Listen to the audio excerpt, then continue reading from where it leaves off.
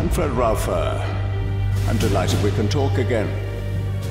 So, how do you recall your war? My war. Things we saw.